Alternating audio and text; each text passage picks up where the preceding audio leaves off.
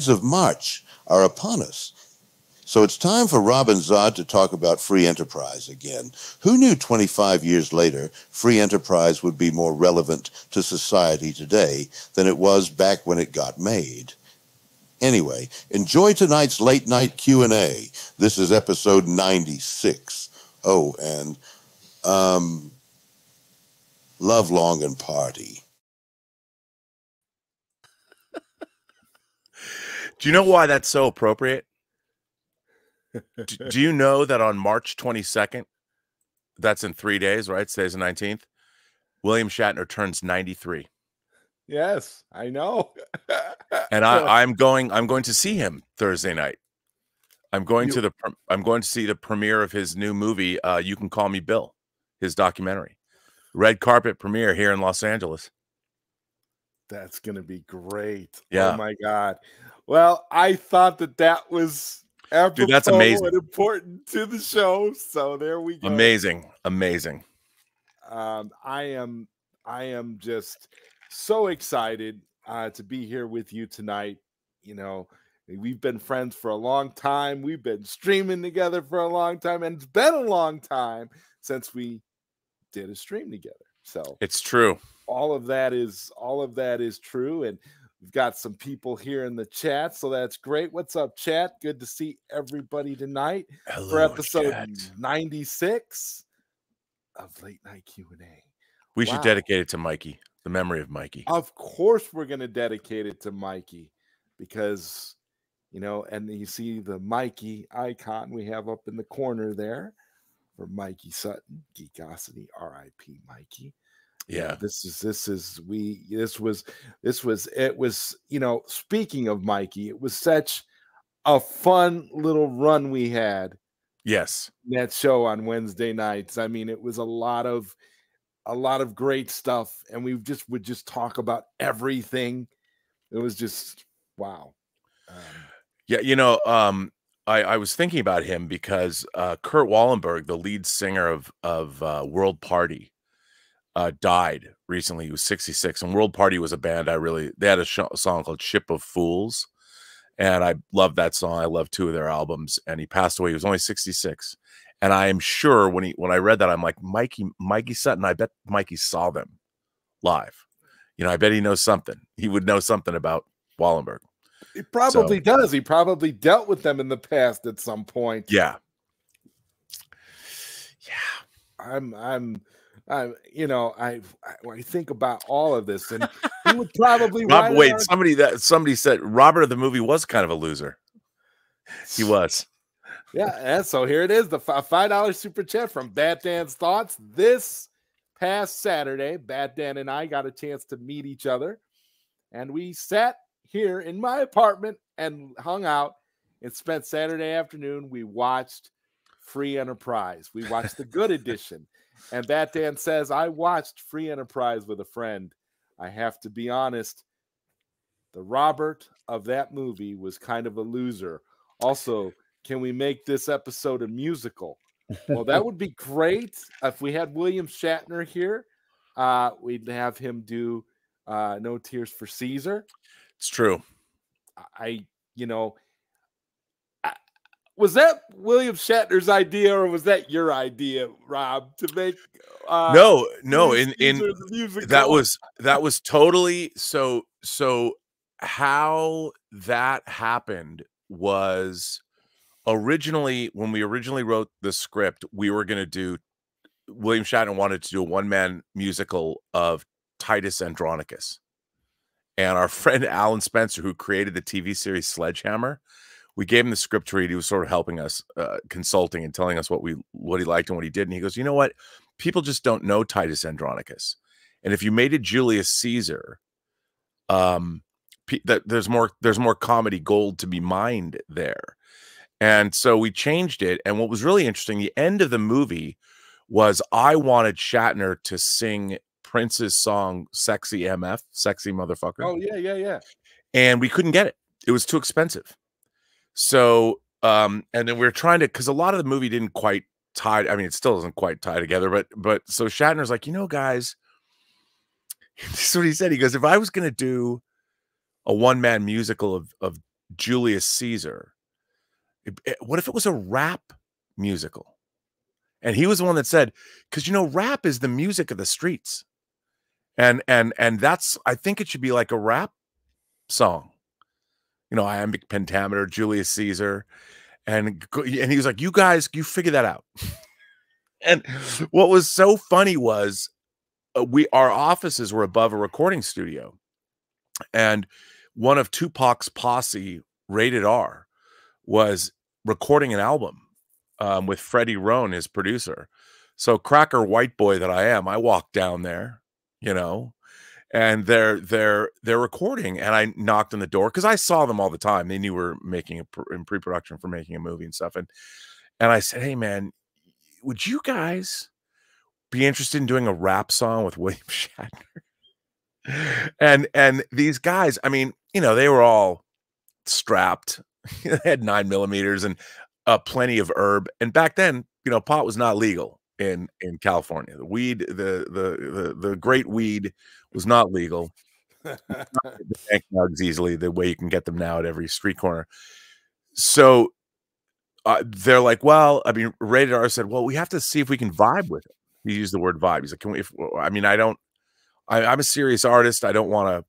I don't want to. This can't be a joke. It has to be real. And so I said to Shatner, I said, okay, we found you some rappers. And we think, you know, we, we should make a song out of friends, Romans, countrymen. And Mark Altman started like writing some ideas for lyrics. And then uh, Rated R took it over. And Shatner shows up one day and he shows up in a brand new convertible green Jaguar and he's blaring NWA out of the car when he pulls up just blaring it.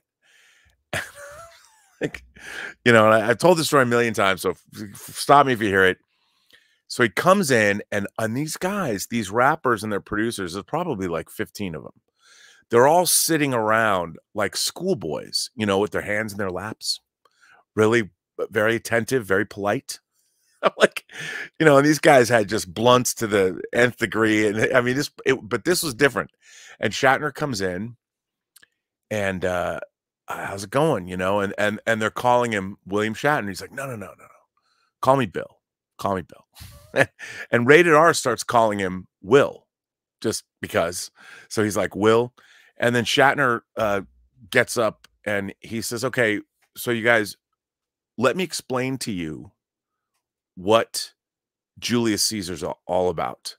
And he says look in in in roman times Julius Caesar posed a threat to the Roman power base because he had the groundswell, the support of the people. You know, he had he had the people mm-hmm. behind him, and he threatened the the order, you know, the governmental order, the governmental power. So they had to kill him for it. He was betrayed by his friends, you know, the people he thought that he could trust, and they betrayed him. They killed him. And Rated R jumps up and goes, Man, that's what happens in the hood. Someone gets too powerful and you got to bust a cap in their ass. I feel you will. And then he he went and hugged Shatner. And I, we're just sitting there going like, "Oh my god." And I mean, I told that's a truncated version of the story because I didn't mention the Martin Luther King part, but suffice to say, it was crazy. And whose idea was it in the movie for rated R to call William Shatner Hooker after TJ Hooker? that was that his. Was a great touch too. That was his. That was that because rated R saw William Shatner as a cop, TJ Hooker, and that was so funny. And I said to him, I go, you know, if that's how you because the whole everybody sees William Shatner differently. And I, I said to Rated, I go, look, when you see him, you know him as 5 0. And I just want you to say whatever comes to your mind, whatever you're gonna say you know, and he was like, 5 hooker, what's up? You know, and, and it was that was hilarious. Hilarious. And it was a man when he said it, you know, I'm sitting behind the the whole time we made that movie, we were howling with laughter. It was so much fun to make that movie because as hard as it was, and we got rained out and all the, the places I wanted to shoot, I didn't get to shoot. Um, but still, it was hilarious. It was really hard, but it was hilarious. So funny. I wish people could see it now. Oh my! God. It would be more popular now than I think ever. I think Pe- so people too. would want to cancel it, or people would love it. People would want to cancel it. Yeah, most, the most most definitely. Now, now, you know, now people, people like myself who love it would get canceled right along with it for defending it. But I definitely, I would, I wouldn't care, Rob. I'd be right there, right on the front line, you know, with the hashtags. oh, I, I, I mean, uh, uh, it, the thing is, if I can get it back from our executive producer, I would put it in theaters again. You know, I would totally get because now is a perfect time to do that. I'd put together a new 4K release of it, put it all together, and I'd put it in theaters. You know, and and go city to city with it because it, has, it would be it'd it be hilarious. very, very 90s authentic look. Yeah, in the way in the way that it was filmed, in every in in all of the shots, everything. It has that nostalgia and that you know. So I think it would do well today. oh, I yeah, I put it out tomorrow. In spite of all of the things that would you know that would get you canceled, I still think it would do extremely well, especially on our beloved physical media. Rob, I oh mean, yeah, come on a 4K release with a commentary from Robert Meyer Burnett and William Shatner. Yep, 93 years old, talking about you know this exaggerated parody of the man himself. Well, and and you know he kept that going because he he hadn't done Boston Legal yet. You know the practice in Boston. He hadn't made the album with Ben Folds, and you know it's it's interesting. I'm just sad that it's been 14 years since we tried to get the sequel off the ground, which is a kind of a bummer. It's been longer since we almost got the sequel off the ground than it was from the time we were going to make the sequel, time when the movie originally came out. So, um, yeah, and I remember on one of the shows that we did with Mikey, we asked Chat GPT to write us a sequel for Free Enterprise, and and and Chat GPT gave us the gave us uh, Free Enterprise two and Free Enterprise three. It was hilarious. Should have made those too. Still can. He's still kicking. 93 years old. I mean, the man went to, you know, what's really funny is that the end of Free Enterprise 2 the the last gag of the movie, and we wrote this in 2009 and 10, is that the the he he he's with Richard Branson, and they go up in the last space shuttle before it's retired, and now in real life he's been to space. He, you know, he went up with Blue Origin. So, so everything that we we uh we and we couldn't even make the sequel now because it was all about bringing peace to Israel and Palestine. That was his big idea the movie. I don't know how that would fly today, but so now, so now the storyline would have to be would have to be changed. Would have yeah. to be a more because we couldn't we couldn't make fun of the situation the way right. We, you couldn't make fun of it, but now you could. Now it would have to be a more grounded, a more grounded story than what you originally intended. Not yeah. as, not as much world building right for for uh, the free enterprise cinematic universe that I, that I that I've also kind of hoped for in my head. but well, yeah, I mean, well, it was funny because that was going to kind of be what we talked about doing a TV series at one point, and and you know we had different ideas. It's it's it's weird to have made a movie, you know, that captured it was such a, it was all about my original first ten years living in LA, and then making a movie that was you know, my, my entire career has been one of sputtering. You know, I've got to do these great things, but they never lead to a second thing. And I don't know if that's more of a commentary on me or I just haven't had great luck. I mean, we won awards, we traveled all around the world. I had a great time. But but I never it didn't lead anywhere. And then after that, rather than, you know, I, I then pivoted and got a job in in home video. You know, when I started making special features and I was able to work on X Men and X Men 2. And I went and worked on Lord of the Rings in New Zealand for months at a time. And then went to New Zealand for 14 months on Lion the Witch in the Wardrobe. Then went over to Australia on Superman Returns for a year. And it was so I can't, I mean, in terms of being a geek or a film fan or whatever, I have had the coolest life. I just wish I could have spent more time perfecting my art, but there's still there's still time. Darth Plato's hilarious. Darth Plato is the official historian of my yeah. channel. Yes. And and uh, uh, my birthday is May 15th. And I, am still one day people just decided to wish me a happy birthday. And even when I go on someone else's show, like this show right now, people come and wish my wish me a happy birthday, even though it's not my birthday. it's been going on for like a month. Yeah, I yeah, I well, I I think I I think that started because you had mentioned it sometime on your channel. I, I people got people got confused. People got confused and it just stuck. Yeah. Yeah, it's so funny. But people, uh, that's why I love my audience. They keep it going. They keep yeah. it going. Yeah, it, it, so. it's a it's a legend, and and and you know my my you know the idea is you know I wanted to do this show as close to the Ides of March as possible, if not on the Ides of March. It just sort of it just sort of fits, you know, fits the tradition and the thing. I feel like you and I have to stream about free enterprise at least once a year because it's true. In, in my mind, I I'm going to, you know, uh, continue to want to stream about it from year to year as long as I live and as long as we're both alive, Rob, at, least until Free Enterprise 2 comes well, out. Well, if it, assuming I get the movie back and we can make a 4K version, we'll have a we'll have a new premiere of it, like at a theater in LA, and I yeah. I will fly you out. I'll put oh it in the budget God. to fly you out and have you come out for I, the. I will. I, oh my God, it'll be the the greatest thing ever. Yeah. This, this movie, I I can't. I mean, when I was when I was sitting there watching it with Bat Dan, aside from the fact that Bat Dan and I were like, we're just like shocked just to be in each other's presence physically. that you know, that's how it is when you when you meet somebody that you've been streaming with for a long time, you know, and you you you and then you actually get to meet them in person.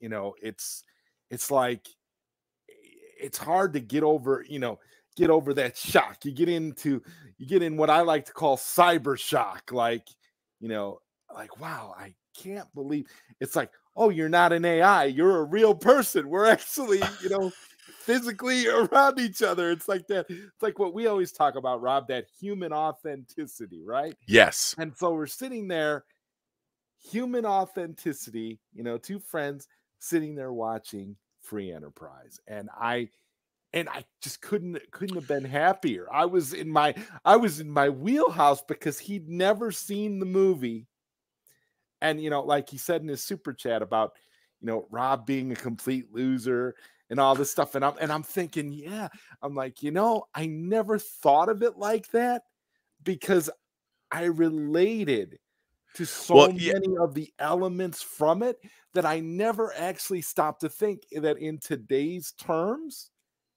you'd look at it and you'd say, "Yeah, you know, Rob kind of was a loser." Well, he's he's written, but that that was definitely on purpose. I mean, he yeah. was written to be. You know, it's it's it's really funny because now nowadays one of the criticisms that that has always been leveled at the movie is that the characters are unlikable. You know that that that and uh, to me, I always like movies about unlikable characters. Like one of my favorite movies in in the world is To Live and Die in L.A. And William Petersen plays a complete a hole in that movie. Oh, just I just rewatched that movie not too long ago. It's so yeah. good. I mean, I love the movie so much, but he's a total a-hole. And and I've always liked movies about those kind of characters. And if we were we were writing movies about ourselves, you know, a thinly veiled version of myself, if I had written some whitewashed, squeaky clean, you know, Wally Cleaver type, it would have been like, first of all, that's no fun. It was it was a lot more fun to to take because I took all my worst traits that are true and put them in the movie you know because the and and it made it for because people don't the idea was i would spend all my money on laser discs at the time and not have money. It's, i'll figure out rent it's later. like, it's like it's like william shatner. William shatner played an exaggerated caricatured version of himself in free enterprise. Yes. And that was what made it so beautiful and so perfect. There were traits of the real Shatner in this movie, but a lot of it was exaggerated. Yes. So you would and and and I and that's what I but when he but when Bat Dan kept mentioning to me about you know about not you know not really liking Rob throughout the movie and then you know you know you know he had issues of course he had issues with Mark too but I I sort of I, was sort of thinking, like, my God, I, I it was the first time, Rob, that I'd actually kind of took my you know fanboyism out of it. Yeah. Oh yeah. And started to started to look at the movie in a slightly different lens. And these are the things that you these are the things that you get from watching a movie that you love with someone who's never seen it before, yeah, never experienced it before. Because when I watched the movie, when I watched Free Enterprise with my cousin several years prior, um, he related related to it on the same level that I did because he was he's a huge he's been a huge lifelong Star Trek fan.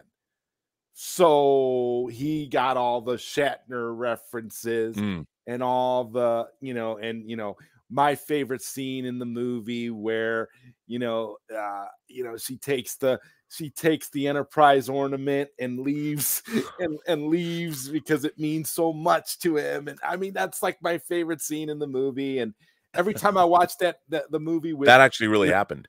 Every time I watch that that movie with with with women, they always chuckle at that scene.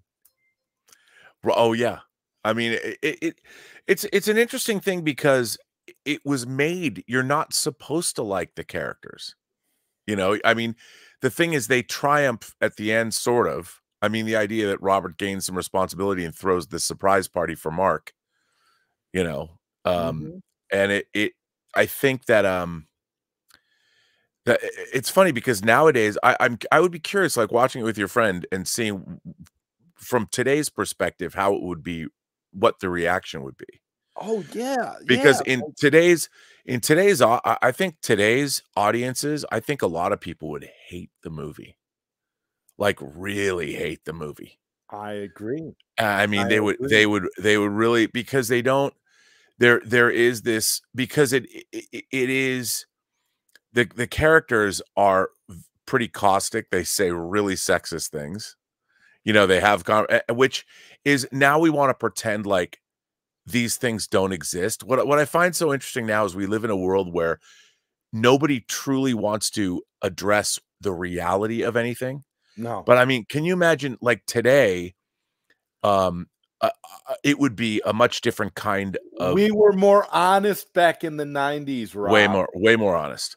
I mean, I mean, what was really interesting is like when you would go out at night because no one had cell phones, you know, no one had smartphones, you had to talk to people, you know, and now you go out into Hollywood and you're meeting, and we weren't, we weren't, you know, we wanted to meet other people. We went out to go, and you had to chat people up. You had to have game. You had to, you know, you didn't fall back on swipe left or swipe right. You could only interest somebody if you had, you could walk up and talk to them. It's a totally different world but it would be interesting. I I would want to put this out just I wish I could put it out now just to tweak, just to watch people get mad. People are already mad at me, you know, about half the half the it's things a, I say. It's a it's a period piece now, Rob. Uh-huh. That's the one thing that might save you if you release it from getting uh canceled because it's a period piece and you are accurately portraying the time period for which yeah. the movie was made. No, it's true. I mean, definitely. And it, it, in terms of being authentic, you know, I'm always talking about being authentic. It's not if it's nothing if not authentic. I'll tell you that. yeah, yeah. And and and again, it, it goes to the whole the whole concept of of, of the honesty and uh, you know, you know, I hopefully hopefully Bat Dan's able to come on a little later tonight because I'd love for him to give some of his, you know, impressions. Oh yeah, about the movie because there's definitely some stuff that I know, uh, you know, that I know that I'm I'm gonna miss that he, you know, that he mentioned to me some some things and and I, you know, and so I very much just appreciated the idea to sit there and nerd out and watch the movie with someone else and get a different get a different perspective. And this is a testament to how great of a movie I think it is. I was able to get something new from it. Yeah. Watching it with Bat Dan when when it's a movie I've seen a gazillion times. I mean, this was a, this is a movie. I know this movie like The Wrath of Khan. I've seen it so many times. It's like it's not even funny. I'm like, wow. It's funny because I I you know I I've been doing this new cut of it, just playing around with edits, and uh, but I don't watch it. You know, I, I don't watch all the way through. I do it scene by scene, and I'm just kind of working on the scenes. But it's it's it's an interesting. It's a weird artifact because it's not quite half my life ago, but but it's pretty far. Uh, uh, it's I was a completely different person back then, and uh, you know, I since then I was married and divorced and all kinds of things, and it's it's it's a wild. I mean, the world has changed as well because we were right on the cusp of the rise of the internet. You know, I mean, it was 99 was really to my mind the year when when people were like downloading the Phantom Menace trailer overnight you know, and to see where we've come, where fandom has come from then to now. The last, you know, I did a show last night on my own channel.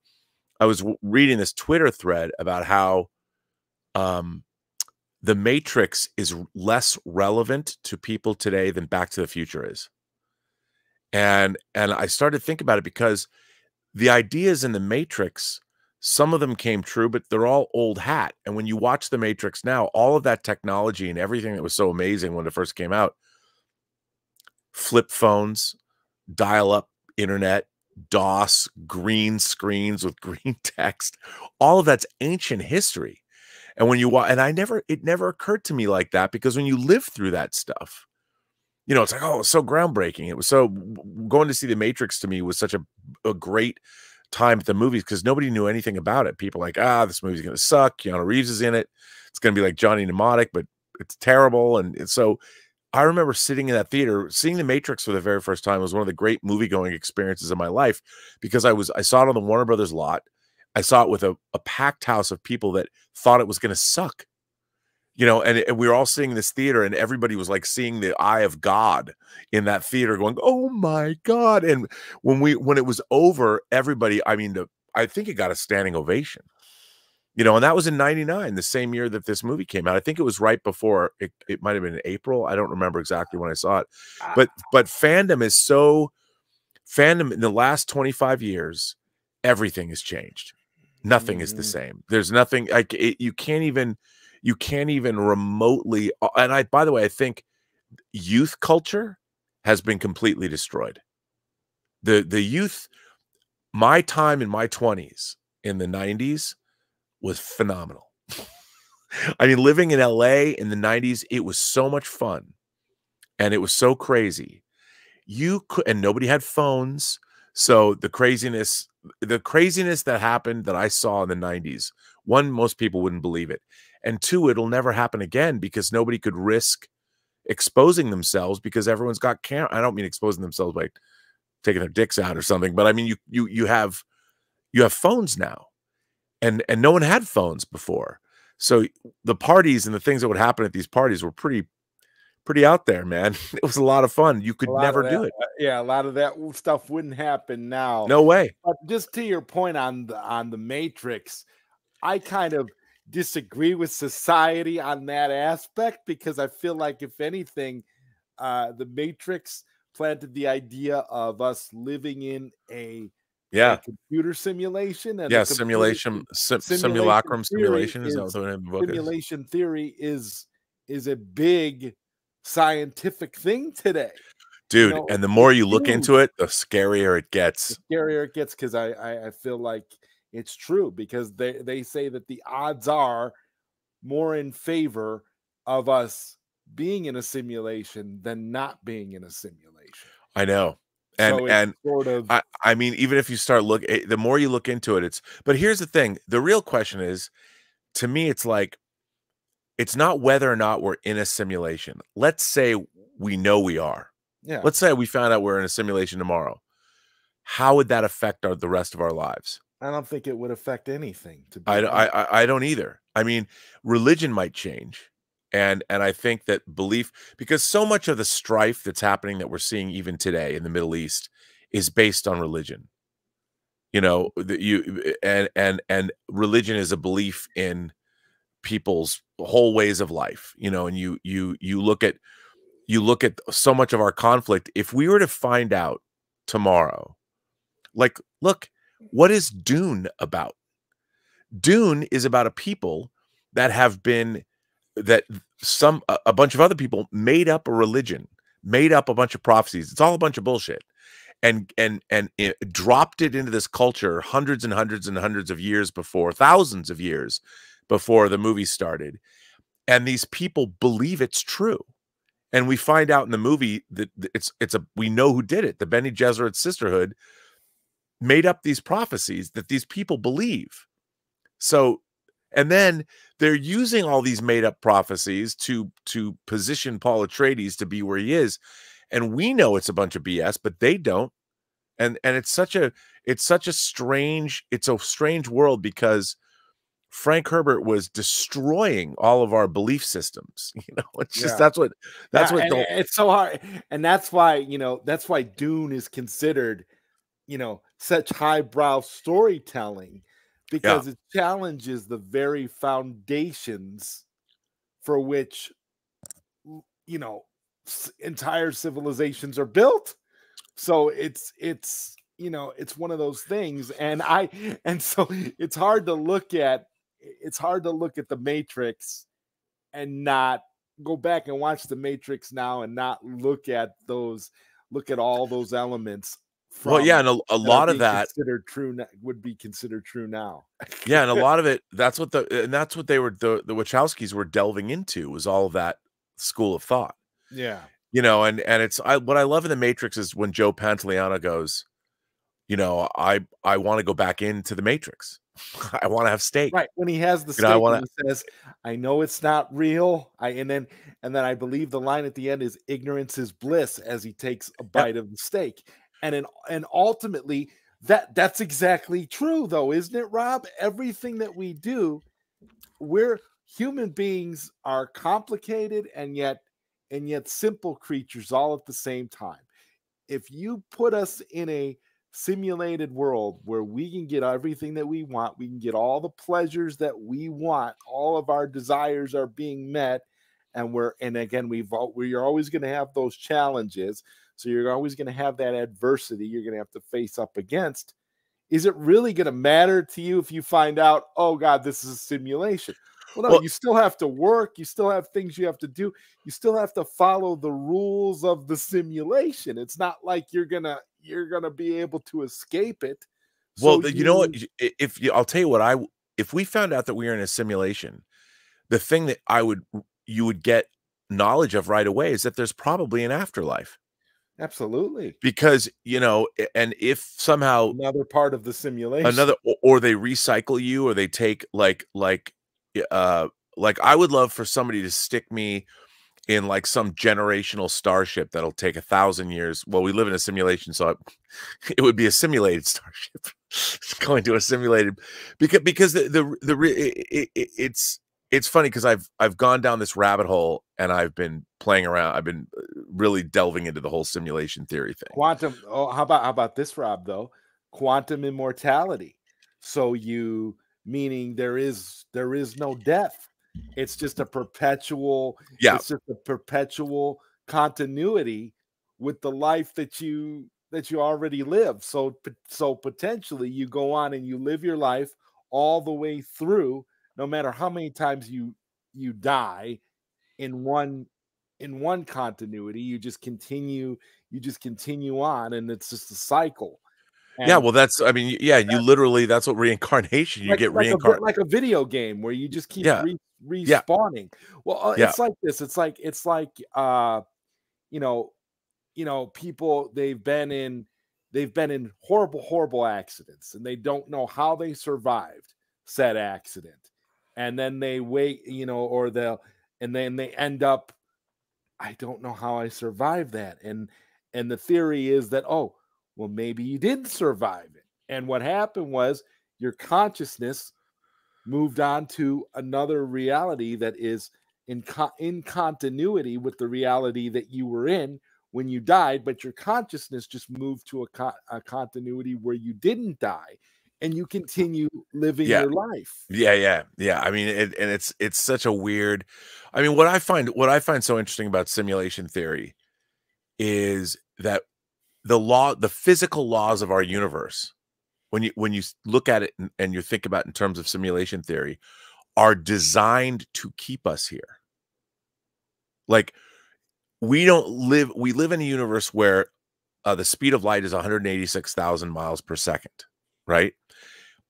Even if we could traverse the speed of light or make wormholes or whatever, and let's say we could we we had faster than light travel, it would still take us too long to get even to the nearest star. You know, maybe four light years if we could travel the speed of light for four years constantly. But if you look at the the universe, like the fact that we are in a place where all we can do is is we have devices like the Webb telescope can see further. Well, if we're living in a simulation, the, the the the universe that the Webb is observing is going to be designed to be seen a certain way, knowing they're going to know, okay, the Webb telescope has reflect refracting uh, lenses or whatever that can see this far far far and so the entire simulation would be designed to give the Webb telescope whatever it needs. Like they point the Webb telescope in whatever direction and the simulation will make sure that whatever it's supposed to see it'll see you know and and based on the idea that well if it's 13 billion miles away well, we don't know the simulation the, the, the can adjust and make the starlight however it needs right. to be it's, in it's, simulation. It's render it's rendering things based on who's observing it. Right, right, exactly. That's what, that's what scientists are proving that like the you know the, that the particles Oh, that particle particles react based that, on yeah ob, being observed, which is that not, part, which is not a good thing. That's the scariest. The that that was the thing that put the zap on my head. Reading about that, the, the firing the electrons through the slats. Mm -hmm that was the thing that freaked me out the most. Right. Because, because if that's happening, that that that basically gives credence to simulation theory more yeah, than anything else. Because yeah. how are how are they how are they self-aware and able to uh perform differently when being observed versus not being observed i mean the the the difference in what's going on there and not only not only acting differently it becomes it becomes a wave you know, it becomes yeah. and it perpetuates out of. It's like, they, a, and, like a caterpillar turning into a butterfly at will. Like what? And when I was when I was watching this video, it, it was funny because I don't know why I got on, in on simulation theory. It was one of those things where Elizabeth had gone to bed and I was in our movie room, you know, my little home theater, home cinema, and um, I, I sit there and I'm watching, you know, YouTube videos, and you go down. I go down these rabbit holes where I'm like watching these scientists talk, and one of them was this scientist explaining this this thing you know this this property of this experiment that that is by the way they can repeat it whenever they want it's not like it only happens once whenever they set up the experiment it happens exactly the same way and then on that video there was some doctor talking about some dn geneticist or something and he was talking about genetic code and when you when you delve deep enough it's binary like our DNA is just binary like code, compu- like computer code, like yeah. computer code, and like they they want to run it. They're gonna get that code out and they're gonna run the code and see what they come up with. I'm just like I can't. I'm out. I can't. That, that means that mean that would mean if that's if that's you know the case, what that essentially means is that we are essentially digital beings, and that everything is yes, and that everything that we're that we feel, everything that we believe in, every it's all it's all simulated. We're well, all basically programs at that point. Yeah. And what the craziest thing about that experiment is it didn't matter how, like, they could set up a camera mm-hmm. and it would change. Anything that observed as and but if you took the camera away and you took away the people looking at it, it became a wave. You know, and that was the thing. It knew how does it know if a person's watching or if a camera's seeing it? That was the thing that freaked me out like it's not like Schrodinger's cat when you you know so, is it in the box or is it not in the box you know the state of being observed this is even beyond that like it knows when it's being observed by anything whether it's an electronic device or human eyes. And that that was what i'm like i can't even. I'm so and have, out. and they have the ability and they literally have the ability to travel to each and communicate with through any distance instantaneously. How does that make any sense if it if it's if we're living in a physical well, I, world that doesn't make sense. Well, because because we are we are, but but everything around us, like everything, is the Matrix. You know, that's yeah. what simulacrum. Yeah. What is it? Simul. What is the name? Then i want to find out the name of the book because it's a certain book. Um, uh, it, it's a book that, uh, yeah, okay. It's it's simulacra and simulation, and yeah. it is a book. It's a 1981 philosophical treatise by the philosopher and cultural uh, theorist theorist Jean uh, Baudrillard, and um, that's where the the Matrix ideas, um, um, a lot of it came from. Yeah, and so it's really interesting. I mean, but but that's that's the funny thing because if you think about what are we doing now when you're playing an open world video game like Grand Theft Auto or Red Dead Redemption, you know, or Cyberpunk 2077, right? They, you kind of use they kind of a lot of simulation theory.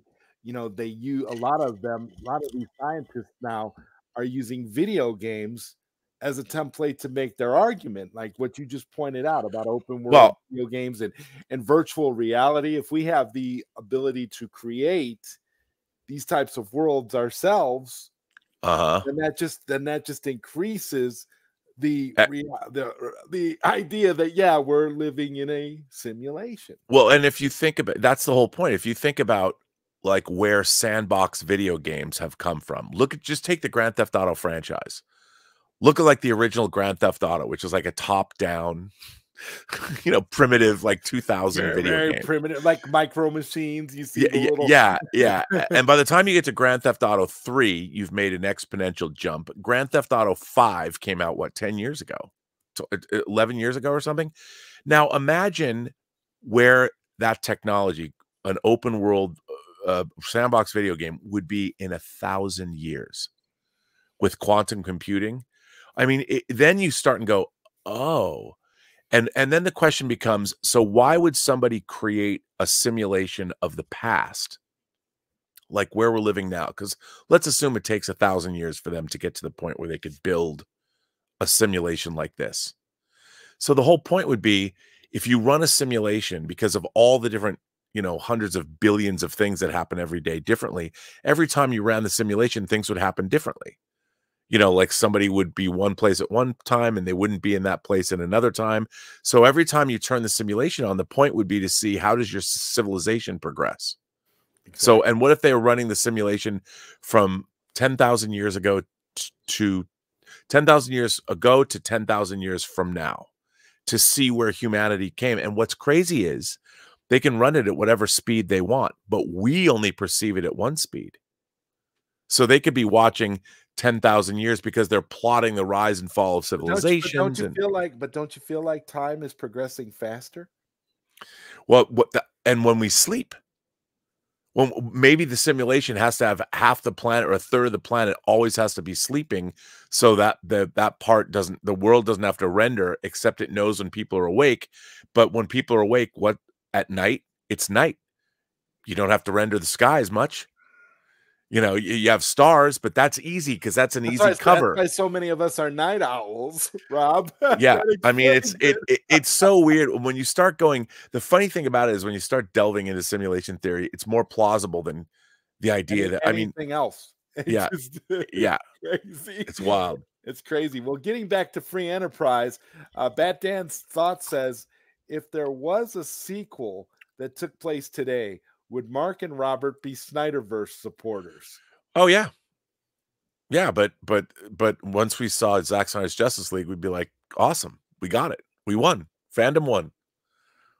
They they would they would not be. And then when Zack Snyder makes a deal with Netflix to go make his his own movies, they would be supportive of that too.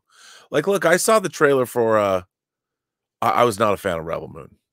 I have to tell you, and However, that said, I'm very curious to see the director's cut because Zack Snyder himself said it's a totally different movie. It's a totally different thing. And and I can't wait to and see I, it. I eh, uh read I read the novel for Rebel Moon, which is based on the director's cut of yeah, Rebel yeah. Moon, and it's fantastic, Rob.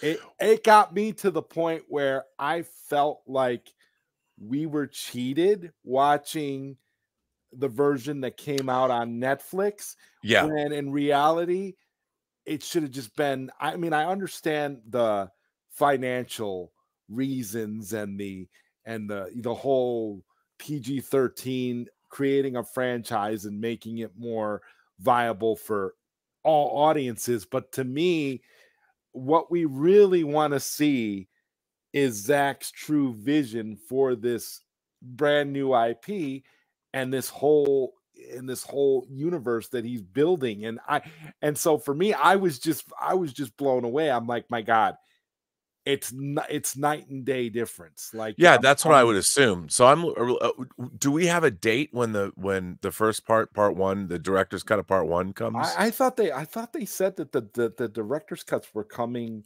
were coming after the uh like right after part two comes yeah out. I, yeah i'll be curious because So I, they're I gonna mean, they- uh, Zack said they're going to dump they're going to dump them both out at the same time. So Yeah. you're going to get the director's cut of part one and part two. I mean, I can understand that because you know you get you get two bites at the at the tr- you get two bites at the dinner table. So Yeah, you know they make mo- they make more. mo- I mean, Netflix gets more out of it that way too. I mean, it's like it's like with it's like with you. I, I look at it like okay, you know, the original, the first cut of Free Enterprise is still good, but when you watch, you know, the the yeah, I mean, the, and- well, we didn't. the other the you know the five year mission edition you're kind of like well i'll never go back to No. that version Well, that's again." why. Yeah, that's why I would. People are like, "Are you going to put all the different versions of Free Enterprise?" And I'm like, "No," uh, it, because when I the the version that I it's, would gonna, it's gonna be like a brazil box set. You're gonna have all No. versions. No because if the movie was if the movie was I wouldn't. I would do a definitive version because there's things in it that i just i didn't know how to do you know as the editor and we were all too and i had to work with other people and make them happy. Now i don't have to do that. And i would i would just make the movie that we made and i would be able to put it together because i've just learned so much more about making movies in the last um the last 25 years. And it's it's frustrating because the movie never really got out there. It was from a small company and and no one and if we had had if the movie had come out five years later i think it would have been a much bigger success. And what's also a bummer is that new line cinema wanted to buy it but one of my producers didn't want them to because we would have had to open up the movie and make their note take their notes. And i'm like let's take their notes then. Why not i mean if it had come out they'd put it out and um yeah so I, I, you know, I and uh, and uh, Darth Plato points this out. Also, Rob, Rob also started a show with the banner as remembering William Shatner. So people came into the chat saying "R.I.P. William Shatner." oh my god! i'm always remembering william shatner I, I, I mean, how, how can you not? I mean, it's it's one of the eh, you know, you know, free enterprise is the ultimate is the ultimate tribute to William Shatner. I would say, and uh, this is just as, as a big Star Trek fan, I would say that with for William Shatner, you know, his best roles for me are Captain Kirk and Bill from Free Enterprise because with Captain Kirk, you have the you have just the the ultimate the ultimate starship captain, and I don't care what anybody says, Captain Kirk, as portrayed by William Shatner, is the captain for Star Trek. I I just to me, I don't you're gonna get no argument from me I, I- I, I, am not. I, I I will never budge on that. But number two, but number two is Bill in Free Enterprise, which is essentially the accentuated parody of William Shatner himself. So to me, I feel like those are Shatner's best roles. Period. yeah well it's interesting now because um you know there's so much star trek and and star trek's kind of like james bond now it's when you whenever you Yeah. first came to the franchise but what i what i uh what what's frustrating now is that the original star trek tos is star trek everything else is derivative of that so to truly understand what star trek was supposed to be you can say oh star trek is all things to all people now that's fine to say but you really have to go back and ask yourself, well, what was the original intent by the original creators at the time it was made? And I think that what's happened in with modern Star Trek is it's moved too far away from that. You know, they're they're trying to make Star Trek more about today's audiences than they are about the concept. And I think that's the that's that's problematic to me because you know when you turn something into a franchise then the core ideals of what that franchise was supposed to be have have gone away. Like to take it back to Zack Snyder's uh rendition of Justice League for instance like I'm a huge I was a huge Man of Steel fan. And and a lot of people I didn't understand I found it very interesting when Man of Steel came out. I really loved it because it was a science fiction it was more of a science fiction take you know, you had Superman being more of an alien coming to Earth, more of a man who fell to Earth kind of a vibe. And then when you were actually dealing with the reality of two Kryptonians fighting in an urban environment, that's like the most terrifying, scary thing ever. And one of the things that I thought was so weird to me was that people were mad that Superman, like people were getting killed and so many bystanders. And I'm like, what uh, What did you think was going to happen? Like this idea that that Superman, who's now been Superman for a week, it, it, he's he's trying to stop the Earth from being destroyed. And, and, he a week ago, if you asked him would he be fighting Kryptonians over the skies of Metropolis, he would have been like, "What?" You know. And and and I so many I think audience members were did not like that. Like their image of Superman. I'm like, no, no, no, no. Zack Snyder has now put a if there was really a Kryptonian on Earth right now what would that Kryptonian be like? Not movie Kryptonian or not animated Kryptonian or not comic book Kryptonian, but real Kryptonian in our world today. And he had to fight another Kryptonian. What would that look like? It would be terrifying. And and uh, that's what I loved about like the end of the film when you're seeing how and I thought one of the most one of my favorite things in any movie is how they open Batman v Superman Dawn of Justice with Bruce Wayne's perspective of that same battle. As a fanboy, when I saw that, I'm like, this is the greatest thing I've ever seen. Why? Because you're seeing how terrifying the perspective is from the ground level. But I love the fact that the most Batman thing in the world, in any movie ever, is Bruce Wayne in his three piece suit running into trouble. Not even as Batman. I'm like, that's the most Batman thing I've ever seen in a Batman movie. Batman thing ever, ever, ever. Exactly. Bruce Wayne in his suit running to the Wayne Enterprises building to save the life of the people that work for him. And and and I'm like, that is the core essence of who Batman is. Not to mention the warehouse fight's one of the coolest things ever, too. Uh, exactly. But but like like right out of the Arkham games, right out of the comics, one of the greatest aspects you would ever see. And with that, because now, yeah, you're, you you decided to talk about Batman. I thought that this would be a good time to bring in Bat Dan's thoughts.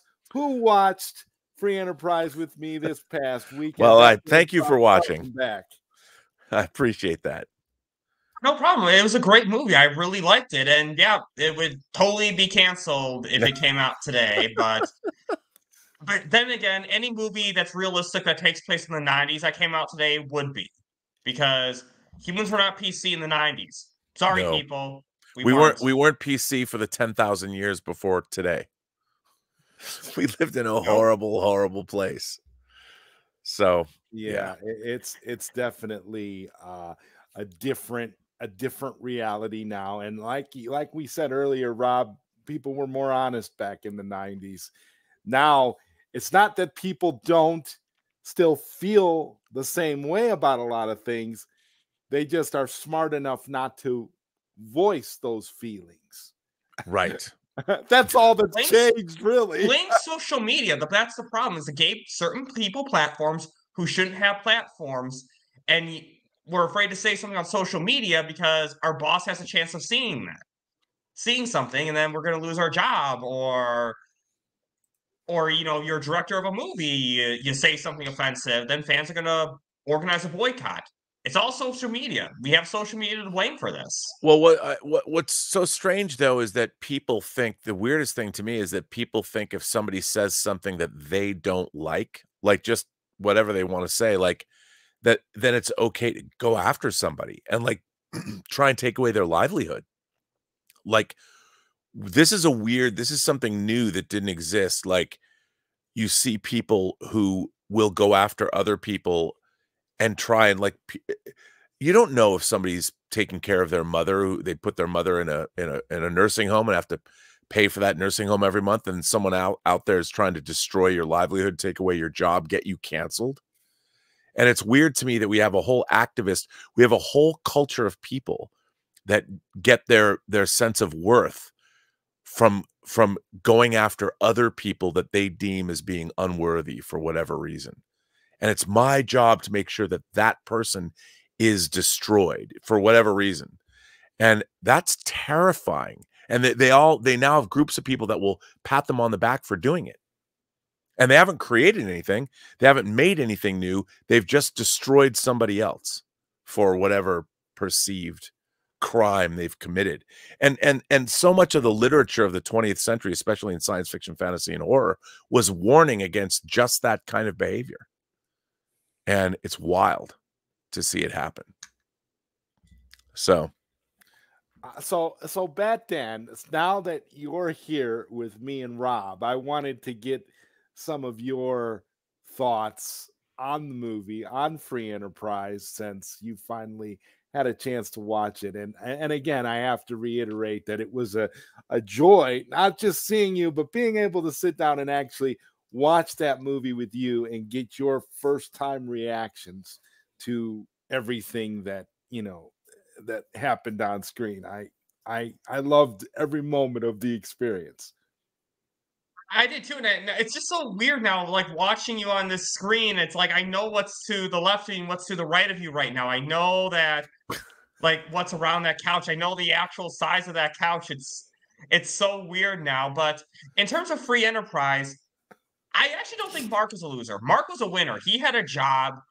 And you know what? I can support anyone who has a job can take care of himself. You know what? Ain't a loser.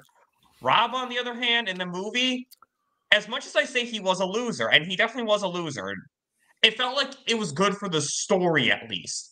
He was an unlikable character, but at least he was supposed to be un- an unlikable character. Well, he did lose his job in the movie.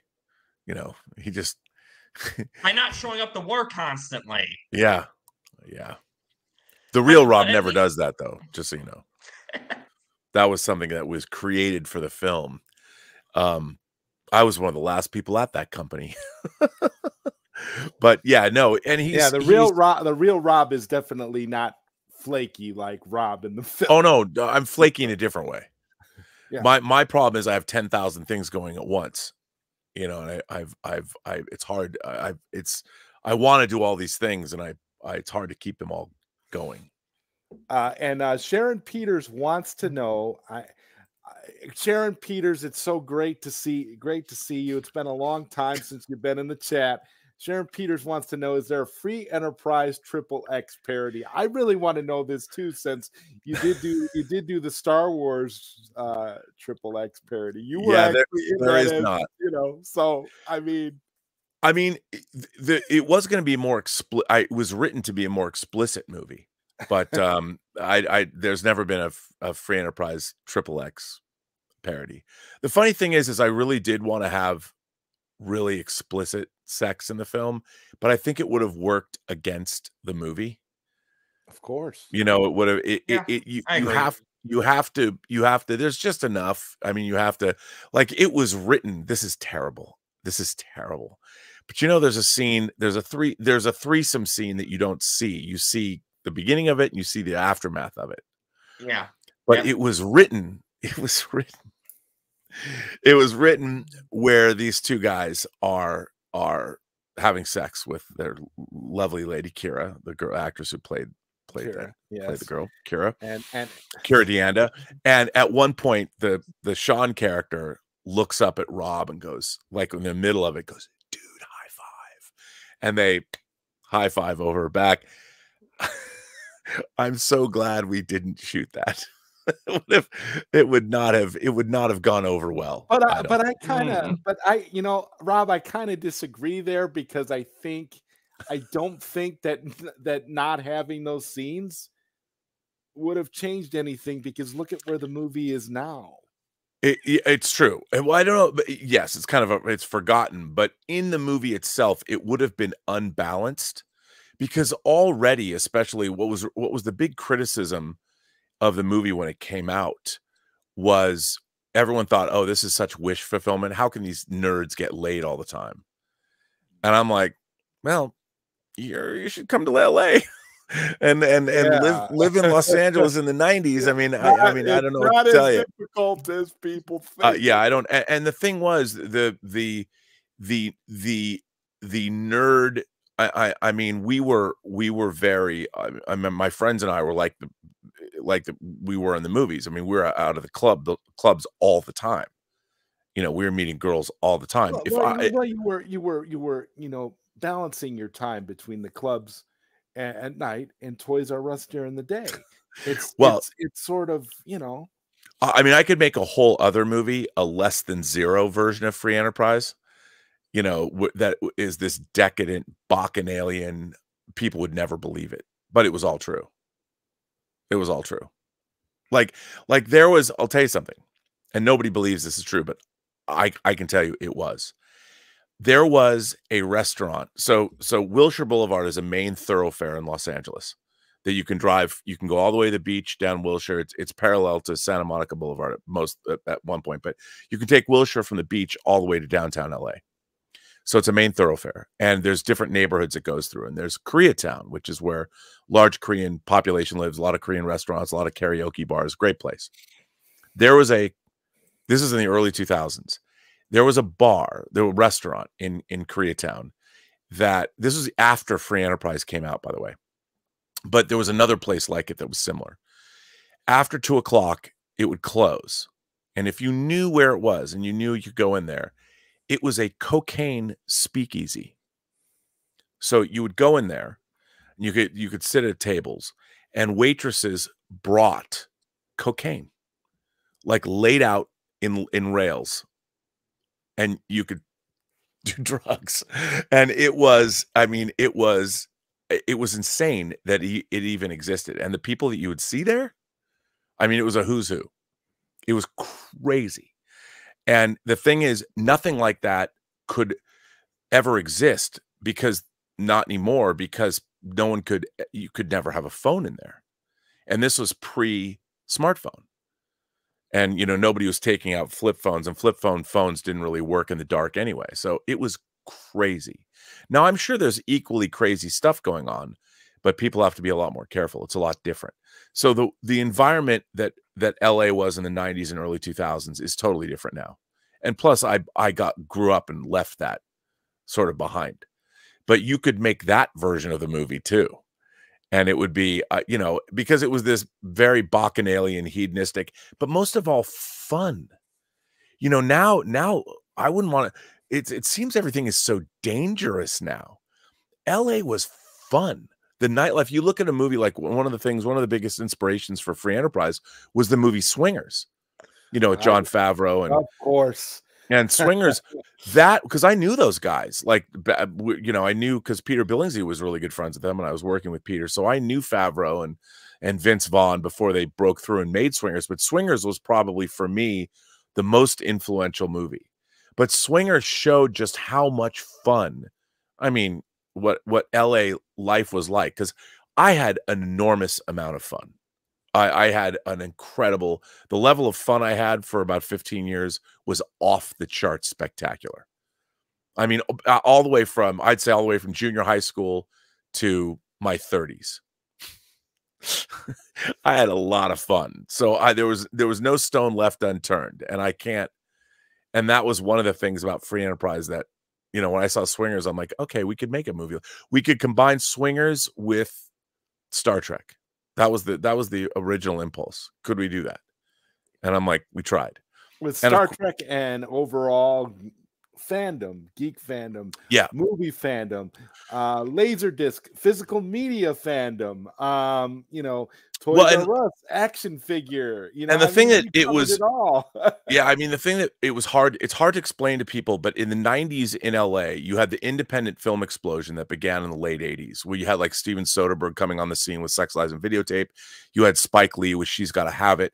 And then we move into the 90s and you had Quentin Tarantino with Reservoir Dogs and Kevin Smith with Clerks and so there was all these people coming to LA and everybody was interested in making stuff. So there was this incredible amount of optimism and energy and creation and people were people were doing all kinds of things. Like for me um, you know, I was working with Peter Billingsley editing a movie in, in, in 93. And then we started a production company. We started making music videos and we were doing industrial videos and we were just making stuff. And it was incredibly creative and it was incredibly energizing. And it was, it was so, it was all kind of the same. One day bled into the other. And, and, you know, you'd work for 12 hours on a movie, editing a movie. Like we'd work on this full moon movie arcade and then we'd go out to the club you know, and then we'd we'd party all night long. We'd drag ourselves out of bed and we'd be back in the edit bay at 9 a.m. So you you had this incredibly um it was it was both an incredibly fun place to be and then also very creatively gratifying. So and it, it all worked together and everybody around you was trying to do the same kind of thing. So and nobody there wasn't any rivalry because there was no social media, so there was no you didn't really know what anybody else was doing. And when you'd cross paths and start talking about what you were doing, no one was interfering with everybody else, and you just share either your frustration or your excitement. So there was a whole it was a it was a great time to be um to be, I guess, young and to be in Los Angeles. It was a great time to be there because it was like swingers. It was it was so much fun and we were we were young and and and dreaming and we could just make stuff happen. And it was happening. People were making stuff happen all the time. You were going to music video shoots or you were going to short film shoots or you'd wind up on a field or somebody would have there was i remember there was a dario argento film festival at raleigh studios and dario argento came and was and was speaking in front of all of his movies and i'm outside and they were going to show deep red and we're all like hanging outside between screenings and it was a raleigh cinemas and it, there was you know it's just a couple hundred people there and tarantino shows up. He wants a ticket for deep red. I'm like oh bro he couldn't get one. I go take my ticket. You know and he did. He went in and saw deep red or whatever and and that was the kind of thing you were fraternizing with all these people and they they they weren't the gods that they've become and everybody was intermixing and intermingling so it was all like one big creative thing. So the idea of running into william shatner at a bookstore and then talking to him was not i mean it was far-fetched but it wasn't as far-fetched as you might think it was. Celebrities so have personal lives. Yeah. I mean it was and the thing the thing about it was is is that geek life all the geeks that came to la during that time came there to work. So like when we when when when Chris Gore and Mark Altman started Sci-Fi Universe magazine for Larry Flynt of all the the porn the hustler king himself also published all these non pornographic magazines. So when I became the critic at large for Sci-Fi Universe magazine, we had this office in Larry Flynt's building. And it was insane. It was insane that you had porn stars and porn magazines up against video games magazines like Tips and Tricks, up against Sci-Fi Universe, up against Car magazine. It was crazy. So here we had this magazine. We're writing for Sci-Fi Universe, going to conventions, but at the same time we're out partying. I mean, it was insane. And there we were publishing the magazine for sci-fi fans with a life. That was what it was called. The the cool geeks. And everybody came to to LA. It was wild, man. It was it was a wild time and and the internet killed that all. It uh, social media killed it all off yeah. because because you no longer had to go do you in order to have this kind of life you had to go out and do it. You had to make it happen. And like you would go out and you'd never know where you were going. It's like where are we going to go tonight? I don't know. Let's go find out. And i had a friend he's passed away but my friend sean who patrick van horn plays in the movie rob's best friend in real life we had a motto and our motto was it's not in the movie, but our motto was whatever comes our way, meaning that wherever in, in like swingers, they're always looking for the best party. My attitude with Sean was doesn't matter where we are, if there's no party happening, we're going to start it. And we would. And and that that kind of thing and it, it spilled over into our work life. It's like, okay, well what do we what do we want to do? Well, let's start a magazine. Okay. you know, who can we get to be in it? And, and Chris Gore and Mark Altman did that. Chris had Film Threat. You know, Mark was writing for Cinefantastique. They got together because all all the geeks in LA know each other. That's how come, like, you know, I've known Chris Gore for 35 years. And it's like we're on, we stream on YouTube together. It's hard. I, I, it would be so funny to try and explain how many of these people I've known for decades. it's crazy. And I mean, to make a version of Free Enterprise now with uh, with all the, because there there is the film YouTube contingent. A lot of these people now know each other, whether it's you know Jeremy Jahns, Karloff, um, um, you know, Campy, obviously. I, I, I, Jon Schnepp brought me onto YouTube, and so I, and and and Chris Gore, and then meeting Gary Nerdrotic, and knowing streaming with the Critical Drinker. I mean, all these people. It's a really small world, really, and it's kind of the same. It reminds me. The only difference is we can't get together because everyone's scattered all over the planet. So it's just sort of uh, it's the same. It's the same concept yeah. Just on a just on a bigger, less intimate scale. In and we don't get to we don't get to have the fun together. Yeah. We don't get to have the fun. We don't we we, we don't leave work. The the fun is the work. You know, yeah. the hanging out is the also stream like what we're doing right now. Right. But we don't get to go to bars and hang out and go to parties and meet girls and dream up projects and so it's it's it the difference is everyone's sitting in front of their computers or their screens and people are missing out about living life part, which is Todd and I. Yeah, I mean eh, that it's it's it's wild. I want to see. I mean, I've been thinking about how do you bring that back. I mean, I'm an old man now, but how do you bring back? And I have to say, like Gary Buechler, Nerdrotic, I went to his. um He had a meetup. He has these meetups in different cities, and I figured, well, what was that like? What's a meetup like? So it was at CinemaCon. I was in Vegas anyway. So I went, there was hundreds of people there. I met a dude that rode his motorcycle down from Edmonton, Canada to go to this meetup. And Gary's a really generous guy. So what he does is he brings a taco truck in, buys everybody tacos. Hundreds and hundreds of people tacos. Buys every he doesn't even drink. Buys everyone drinks. You know, and everybody there is it's this is the funny thing. People come after me like you're friends with people that are so hateful and toxic, and I'm like, you got to go on these meetups, man, because everybody's it's like a love fest. You meet people. Some guy flew in from Thailand. You're meeting people from all over the world, and it's an all day event. It's incredible. I mean, it's incredible to meet these people. It's like having a, a going to a convention, but there's no convention. It's just a meetup for people that watch his channel. And I was blown away by it. I was like, wow this is incredible. And I, I've often thought we should do more of this. Like if my channel, if I made more money on my channel, uh, once a month I would go to different cities and throw an event like that. That'd be awesome. I know. I would just go from city to city. And you know what? I'd rent out a theater. I'd show, make it a whole day long thing. Have a party at some bar, feed everybody, then bring them to a theater and show them free enterprise, and then continue the party afterwards. I would just do that because meeting all these people, you know, you think about how many people are on YouTube. Gary just passed a million subscribers this week. I know. A million, I saw that. I was like, a wow, million people. Insane. Like, there's a if you think about that, and Critical Drinkers almost two million people, and we're all streaming with. When, when you go to these places and you you think, are is anyone going to show up? When when John Campea did his hundred million views party, I'm like, who's going to come to this? Sold out. It was like people came to this. We rented out this little theater, packed People brought us cookies. It was amazing. And and the thing is, what is not being tapped into is we are a strong community of literally millions of people. And and when we all get together, there isn't rivalry and people aren't there's no beef between each other. No one's going, "Well, you're toxic." Everyone's having a great time. We need to do more of that. We need to take the communities that we've built like the the the support the Snyder Cut community. You know, when you ever had meetups at various events like conventions and things like that, people are people are so happy to see each other. Everybody's having a good time. We should. There you go.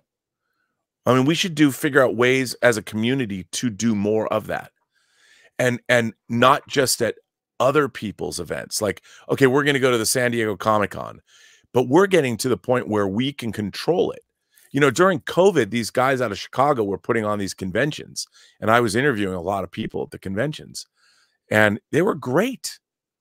You know, and now with the internet, you can get people to show up. They'll show up. They'll come. It's great. We should do more of that. that would be amazing. I, I just keep I, I, keep thinking about how great it's going to be to one day see Free Enterprise in a movie theater. I'm just like getting hyped. I yeah, I'll get burned at the stake oh by by young leftist activists. Well, see that that's oh, fuck that's, them all. it's just like wow. You know what? I don't know. Um, uh, Sox Bulletins wants to know. I wonder what Rob thinks of the new trailer, The Acolyte, for Disney Plus. Here's the thing.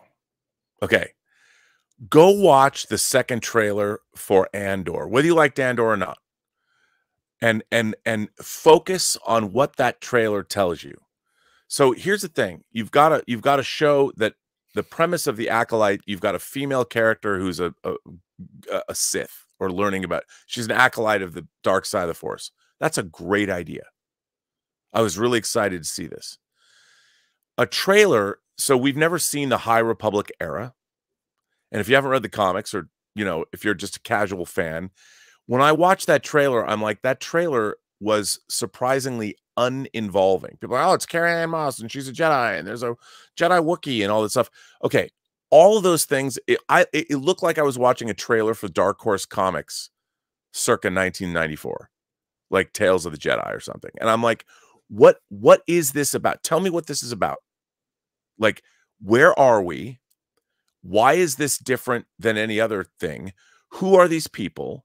What is going on here? I mean, if this and if you watch the Andor trailer, it's all these different characters and you hear from them you hear their voices they're talking to each other you you get a sense of place you get a sense of purpose you understand what this show's about i don't know what the show's about other than the fact that it looks like how if ahsoka showed up wouldn't surprise me.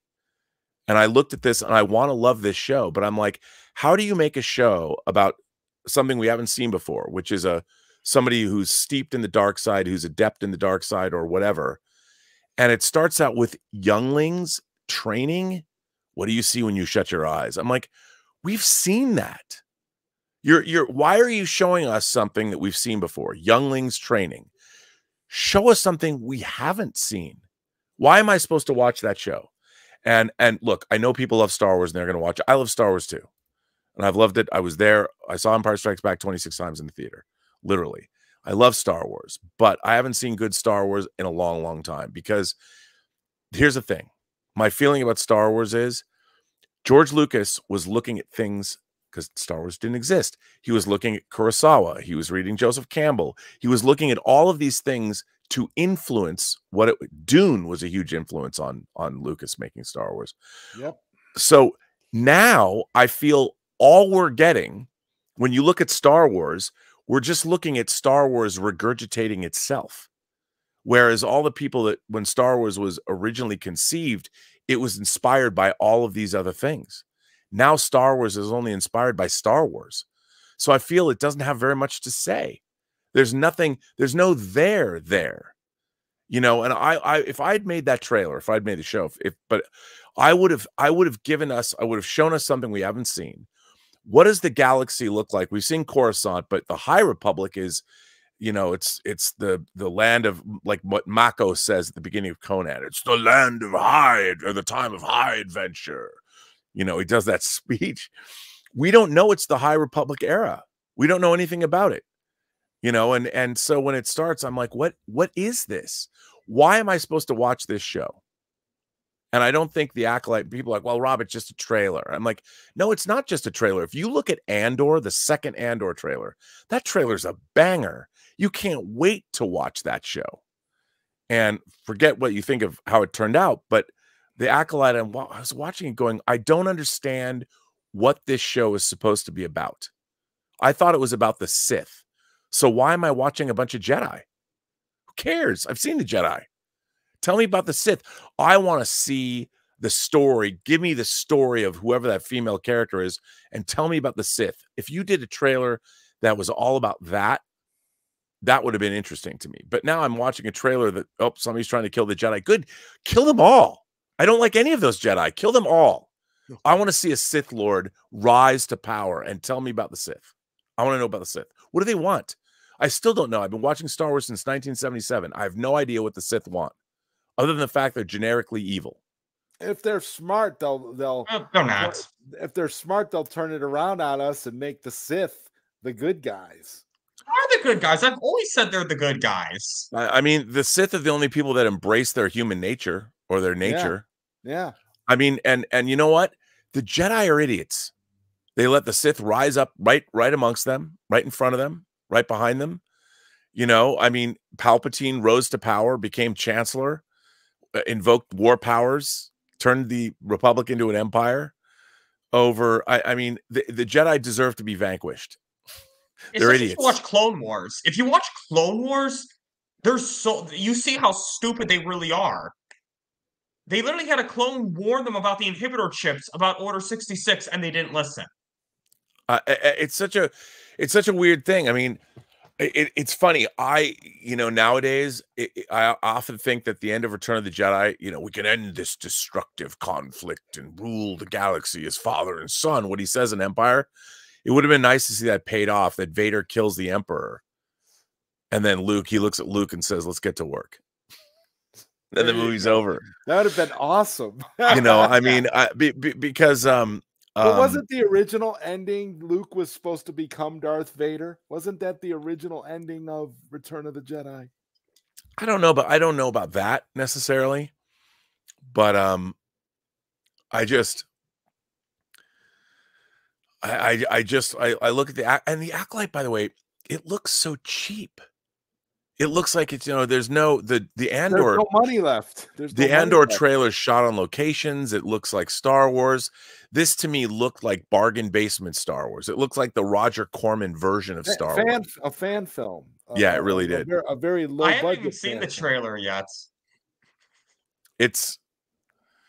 I mean, the funny thing about it is, it, it it's the most generic milk toast Star Wars thing because it's not telling it there's nothing why am i supposed to watch it? What is a great trailer makes an audience go i have to it poses a question. You show an audience a bunch of stuff and they want to know what's going to happen. I wonder what's going to happen here. I wonder what's going to happen here. I wonder what's going to happen here. That trailer does not ask any questions. It, there's nothing in it that you it doesn't it, it failed to me as a trailer and it's not you know a lot of people it's not because of the the, the racial makeup of the characters i don't care about that. Uh, I, I, mean star wars is a it's got a bunch of aliens in it so who cares? Uh, I, I don't care about any of that. What i want is a great story. Give me a great story and great characters. That trailer we're supposed to get excited about carrie-anne moss because it's carrie-anne moss. I want to get excited about the character carrie-anne moss is playing and she doesn't say anything there's no dialogue in the trailer other than people saying, We don't know why this is happening. Tell me who these characters are. Who are they? What are they like? Give me a sense of their personality. If you watch the Andor trailer, you get all of that in spades. You see everything you need to know. It starts with a voiceover from Cassian Andor and it explains how, you know, the whole thing's about how does the re rebellion start? And I think those are great. It's a great juxtaposition if you want to see the difference between a good trailer and a bad trailer. I think, and it's not that the Acolyte was a bad trailer. I, I mean, I think it is a bad trailer, but it doesn't it doesn't do what a trailer is supposed to do, which creates and foments fervor in the audience. That to and people are now like, well, we're gonna get another trailer. I'm like, no, no, no, no, no, no, no. You have to assume that every trailer you make is the only trailer people are gonna see. You can't, you can't we as film fans are waiting. We know there's going to be a second trailer, but most people aren't. You're never going to get a second chance to make a first impression. There nope. Exactly. You either know what you're doing. It's like when you kiss a girl. A girl knows in a split second, does this guy know how to kiss or not? And once you uh. once you once once you prove that you can't, you're out. You're out. The girl's like, okay, I'll continue on, but this guy, he doesn't know how to kiss. And after that, you're dead in the water. You got to know what you're doing. Otherwise, how do you expect to succeed? And that trailer, Star Wars needs. I I want Star Wars to succeed. I think we all do. Yeah. And I, you know, the acolyte the sequel's not canon. I just don't Sequels understand. Aren't... It's it's because the people that are making Star Wars now are not looking out at other things the way George Lucas did. The man who made Star Wars was not making Star Wars. He was making he was inspired by all these other things and i think that that's what people have to start to do is is is ask themselves what are we making here? What are we what, trying to convey? ins- what inspires us outside of star wars itself? Money. That's what inspires them. But well, the thing is well, they're not making money though. Yeah the uh, yeah the, uh, uh, the irony is that great stories uh make people money and and in order to make great stories you have to understand what makes a great story which means you have to have a great knowledge of storytelling itself. And it's it's a bummer. Well ace ha- hanlon here with the two dollar super chat. Thank you ace says rob what do you think made la less fun think you kind oh, of addressed that. No, I think I, I, mean I honestly I think I think there has been an inversion in I would say there's been an inversion in youth culture. And since the rise of the internet, it used to be that we young people were seekers. We were out there looking for our place in the world. We were looking for our tribe, you know, our friends, like-minded people we were looking for art that inspired us whether it was music or films or or anything we were going out and finding it because you had to. You had to. Uh, otherwise it wasn't going to come find you. And now there's been a total inversion. We now carry our black mirrors in our pockets everywhere. Mm-hmm. um, yeah. and it all comes to us. You don't have to make any effort anymore to do anything. You want to meet somebody from the opposite sex? Go on to tinder or whatever, Grindr. Go wherever. If you're gay, you got Grindr. If you're t- if you're straight, you got Tinder. You got you swipe left, you swipe right. You don't have to put any effort into it. I mean, Hell you know, yeah, I know that. I mean, it's and and but that's the thing. Walking into a, a, a there was a whole thing that happened when you you went out for a night with your friends. It was charged. It was exciting, you know, and and and and you didn't know what was going to happen and and there was and you had to make it happen. You know you had to go in there you had to go up to a, a, a sidle up to a bar and you had to chat a lovely lady or somebody up. Rob i want you to go ahead and read that sir. No i always lick my fingers clean. Sharon peters wow. It was my face. It was my face that smelled. That was great. It's best smell in the world oh god, but that was Sharon Peters. But but but Sharon's Sharon's right. I mean, it it was it was. But the thing is, I wouldn't say stuff that because that's you got to bring your finesse game.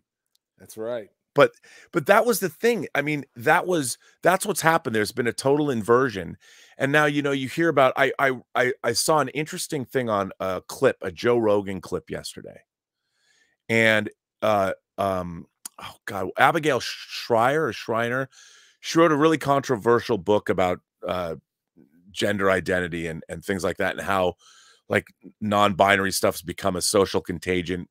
That's not what I'm talking about. Don't get pissed at me for because people get mad. But what she was talking about was that her uh, a friend of hers who is a um, a research biologist, a, a cell biologist, and she would have students come in, and every year they would run experiments, and she was kind of mentoring them and she said something really weird has happened in that she probably has smarter kids today than they've ever been than she's ever had uh, more knowledgeable kids but they're all terrified to run an experiment. They're terrified of like they they don't want to do it. They they don't want to actually pull the trigger and run an experiment for fear of failing. And and to me that's that's what an experiment is. And the the funny thing about about you know going out and this inversion that's happened is no one's risking anything anymore. People are so terrified that their feelings are going to get hurt or they're going to fail or they're going to but that was all part of the fun because you know when you're out there on the edge that was li- like Matthew McConaughey said L I V I N living you know you got to get out there and go do it and nowadays I feel that people are are afraid to you know, work without a parachute or work without a net. And that was what life was all about. Let's go out and see what happens. Boldly go. And I think that's what's happened to LA. Like I obviously because I'm old, this same dynamic doesn't work. But I'll tell you something. I, I was first. I went to a Schmoedown event in Houston, and I wasn't supposed to be there. It was a secret that my character was going to show up. And so the, the first night I was there, I had nothing to do and I'd never been in Houston. And I was staying in a hotel across the street from the um, Space Center, the, which was so cool because I was so excited. I wanted to go there my whole life, but it was, I got kicked off the grounds because I was snooping around at night. So I went to this, and I don't know where this is because I don't know Houston very well, but I said to the, I got a cab and I said, take me to, take me someplace cool here where there's like nightlife. And they took me down to the waterfront and there was like a pier on the water. It was really cool, this cool like entertainment area. And I went into this club and I basically, I mean, I'm not going to dance. Everyone's there 20 years younger than me, but I, I just kind of went there to observe.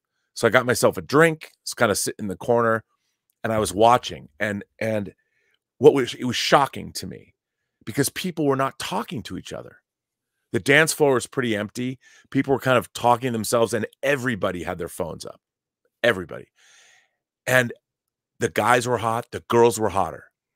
And I'm like, this place is a this is a Shangri-La. I'm like, this is an amazing group of humanity. People all shapes, sizes, colors, creeds, everybody's mingling. And yet no one's actually talking. They're all like walking past each other without making co eye contact or conversations. And I sat there and I was there for like two hours. I think I went, I think I had like three double double uh, uh Jamesons, double Jameson rocks. That actually sounds kind of depressing, Rob. It was, I mean, dude. Oh it was God. monumentally depressing. It was so depressing. I'm like, this is a place that was it was off the hook. I mean, I was I was I couldn't stop but think. I, I think it was in '94 was the first time I went to Mardi Gras in New Orleans. I went to this. There's a place called Pat O'Brien's, which is this gigantic bar and then they have this huge outdoor area. And it's you know it's total frat boy central frat girl central but for me i was east of the mississippi. So these were not my people. I did not know what it was what it was like. And but it was off the hook. It was off the hook. It was crazy the the the, the stuff that was going on there. I ended up meeting a girl that looked kind of like halle berry. And uh, it was pretty interesting because didn't occur to me, but we're like, we started, we are making out in this bar in the South at Mardi Gras. And I'm a white dude from California. And this girl was, she was black. And uh, I could tell at one point when I came up for air, I'm like, maybe we should take this elsewhere because people weren't exactly happy with us. I'm like, oh, right. But still, it was so much fun. I mean, I mean, if you're you, if you're having fun, man, I mean, that's all that matters. It was mean, so much. Screw it, everyone, man. It, was, it doesn't matter. you, like, you, still got to oh. remember whose house you're in, though. Yeah, yeah. but for your but own the, safety. But at the time, though, it, nobody really cared. It was so. The point was, it was so much fun because everybody was talking to each other everybody was talking you know it was it was the most erotically Mardi Gras was one of the most erotically charged places because everybody at that time knew why they were there. There was no belligerency. Nobody was getting in each other's faces. Nobody was nobody was mad. Like I didn't see now you see fights. You see people they step up to one another. They get in each other's faces. I'm like, why are we doing this? This is getting us away from the the the task at hand. Yeah, everybody, but, everybody's angry with each other, and that's yeah, that, that's that's yeah. another big difference. In, in Total difference. When I when I moved to LA, I moved to LA in '88. Just my for I, I after my junior, I, I moved. I transferred to USC, and I this summer that I lived here in, in LA, I didn't have any. I saved up a bunch of money. I moved to LA, so I basically just partied the whole summer I lived here. It was it was. I can't begin to tell you how much fun it was you know, I was I would go with I moved down here with a buddy, and we would our day was consisted of we'd get our bikes, we'd ride from where we lived in West LA down to the beach. We would do a 36 mile ride on the beach. We'd go down to Palos Verdes and back. So we go from Santa Monica down 18 miles down to Palos Verdes and back on the beach. We'd get back to Venice like at three or four and hang out. And I I was reading books, Star Trek novels. Shh, don't tell anyone. And then and then um I got I got I'll tell you I don't know if I told you a story. I haven't told the story in a while. Uh, so in the summer of 1988, my favorite Star Trek novelist, Diane Duane, wrote the very first pocket Star Trek hardcover novel called Spock's World. Now, back then, I I helped teach an aerobics class. I was buff. I was, you know, I was. I mean, I was not huge, but I was in, in great shape. We'd ride bikes, you know, 36. So, but I was reading the new Star Trek novel. so I was locked in, man. The, the, the Vulcan wanted to secede from the Federation. So I was sitting there for like three hours reading this book. I couldn't read it fast enough. And in the middle of reading this book, uh, a gigantic wave of sand comes kick gets kicked in my face and it gets all over my mint condition Star Trek book, Diane Duane hardcover. And I look up and there is just this smoking hot California blonde, unbelievable body. And she's standing there looking, I, and I'm looking around like, what, what, what, what happened? Like, did somebody get in a fight? I didn't know. And she's looking at me and she's, she says, you are the most conceited asshole I think I've ever seen in my entire life. And I'm looking around and I'm like, are, are you talking to me? And and and she was like, You're the fucking, you know, she was just going off. And I, I honestly did not understand what she was saying. Cause I'm I'm like, you know what T'Pring's about to do to the Federation? And she's she says, I've tried to get your attention for the last two hours, and you haven't looked up from that book once. just like I'm looking at her. I couldn't even get into it. I couldn't even explain That's to her that oh she God. could have been Farrah Fawcett Majors from Logan's Run, and I would not have noticed her reading the Star Trek novel. Yeah, it, you get you get in into something that's that good, that's that well written. I mean, come on. And I, and I mean, I, I couldn't. I mean, I know the book you're talking about. So you know what? I, yeah. I couldn't. It was so funny because I couldn't even. Here was a girl that I would love to have chatted up but but I had already by my by my complete immersion in this Star Trek novel destroyed any opportunity. and I wanted to tell her I wanted to look up to I was looking I was literally on the ground. First of all, I was hugely pissed that there was sand now in my mint condition book because I put Brodarts on the covers, you know, the, the library books have to keep like this. Here's a Star Trek novel right here. And I've got these like library Brodarts around them to keep them in mint condition. By the way, this is signed by Boris Vallejo, the artist who painted that picture, uh, the cover. But I was furious with this girl that she's kicked sand in my face. I didn't. Eh, I'm like, I didn't care about me. It was the book. Like you've got granules in the pages of my Star Trek novel, the first Star Trek novel that Pocket Books published in hardcover. After, I mean, I was so mad.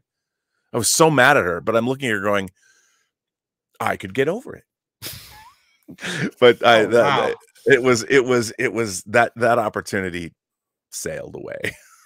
I would have thrown sand right back in her face, honestly. No, no I, yeah, it was it was a, that is a sad and depressing story, Rob. Uh, wow. Uh, Bat Dan, I want to thank you for being here, man. I know you you got to get going, so I just wanted to uh, have you on here briefly so you could get a chance to talk to Rob a little bit because of your first impressions of free enterprise. Oh, I'm with. By the way, I'm with Sharon. Uh, we could do ten lines. That's another thing. I used to be able to get great drugs. I haven't done drugs. I don't trust anybody. I would. That's another thing that you want to know. Seriously, in all seriousness, you know what made LA suck? The quality of drugs just just tanked in 2005. it just went. No more. No no fun no fun. Well, well, as soon as you couldn't trust your old, your as soon as you couldn't trust your drug dealers anymore, the fun went out of it all. uh 499 super chat from KFB says, Yes, I love this guy, a Sith Lord, and he's not afraid to talk about gender identity. I wrote a book about this topic. I applaud this guy's bravery. Are you talking about me? Thank you, KFB. Yeah, he's talking about you. Oh, well, look, I don't understand. This is the funny thing that I don't get. Human nature is a part of life. And I I I don't understand why everyone is is pretending. It's almost like everyone's pretending they're not human beings. It's it's we it's not just gender identity or or politics. We're pretending that we're not first and foremost creatures of flesh and blood that have desires and that, that want to do things and it's almost like people are using their activism or they're like i'm going to fight for what's right But again, to me, that's a way of running away from actually living your life. It's easy to go online and and and type things that you think are right, or it's easy to go to a protest where you have a bunch of people and they all think like you do, and you're holding your signs. It's a lot harder to go out by yourself and meet people that you don't know, you know, and and to have conversations with people that, you know, I'll tell you something. I have found that in this world, and I've, I haven't traveled as much as I would have liked, but I've lived in foreign countries. I've been around the world. I produced I produced a movie in Bulgaria and a so former Soviet satellite state. I have found out that for the most part, when you go out into the world and you meet new people and find new people, it's a pretty great experience. Meeting people that you've never met before, going out, having meals with them, going. I'll tell you something. When you travel, when you travel, always like if you're staying at a hotel, if you're staying at a hotel, go talk to wherever you are. If you go to Europe or something, go go to the concierge or wherever you're staying. If you even at a hostel and ask somebody, go, hey man, where's a place that you go? Where do you go hang out? Not a tourist trap or anything, but where do you go? And and uh, where's a bar? Where's a cool pub? And if you, I've found this works every time. You go to the pub like at four o'clock in the afternoon four or five, you know, between lunch and dinner. And if you're in Spain, it's probably like seven o'clock because you don't go to dinner until late. But you go there and you just hang out, start talking to the bartender, start talking to, to people, and people will hear your American accent and they'll be like, Hey, are you an American? And then you start talking to them. And and inve- in, inevitably somebody will be like, Hey, you know, if you're if you're if you're nice, they'll be like, Hey man, I, I'm gonna go out with some friends tonight. Well, you should come with us. This always happens in Europe. Go with them go with them. And and that you'll have the best time. You'll have the best time. Yeah definitely definitely. Well uh yeah bat dan had to go. So thanks again for stopping by uh bat dan and sharing your thoughts about free enterprise. Uh uh, Thumper Squid says Playmates Enterprise D is awesome. Got it at Target. I know. I've, I mean, I, uh, I thing is, I still like those Art Asylum versions the best. The Art Asylum ones that they did are great. Really good. Sharon, does Sharon Peters live in L.A.? I, I, I don't know. Sharon, do you live in L.A.? Hands down, the best pub in L.A. is is the Manhole. Okay, I. I, I, I don't know, Sharon. You, Sharon, if you're in the chat still, do you live? Well, you just posted a minute ago. I'm sure you're still here yeah, do you live in LA? I'm I'm curious too.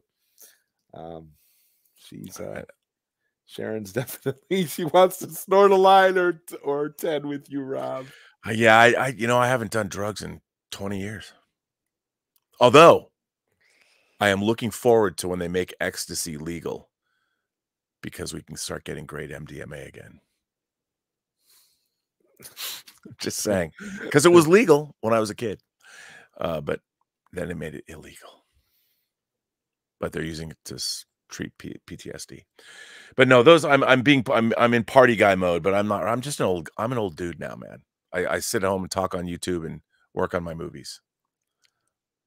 That's it. Okay, Sharon says no, but I have friends who live in LA. Well, come on, Sharon, let's party. Come to LA. That'd be fun. That would be a fun night. you know what I got to do? well, that's stream the... Sharon Peters and Robert Meyer Burnett.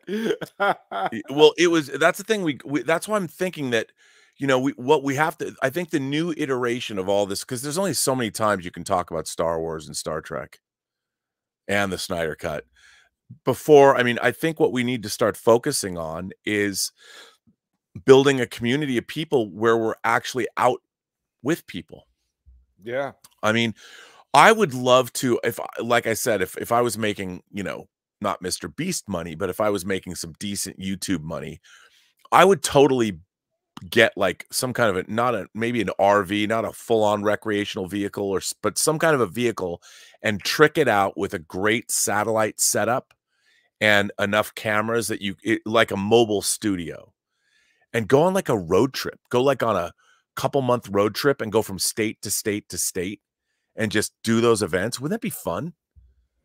and do live YouTube events and and and and just throw a party or throw a call uh, get food trucks to show up and When- throw an when- event. when, when you when you start getting uh when you start getting that nerdrotic money. I know, right?